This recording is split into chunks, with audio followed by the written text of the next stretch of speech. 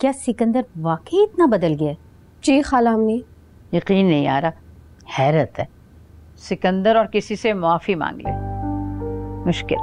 अम्मी वो अब बूढ़े हो गए। व्हील चेयर पर होते हैं और ये तो अच्छी बात है ना कि वो बदल गए। वो तो मुझसे भी बहुत शफकत से मिले। माफ़ी मांग रहे थे। मुझे तो बिल्कुल अच्छा नहीं लगा। अम्मी मैं तो कहता हूँ आप लोग को उनसे मिलने जाना चाहिए। पुराने झगड़ों को खत्म कर देना चाहिए। हाँ बेटा चलेंगे किसी दिन है ना?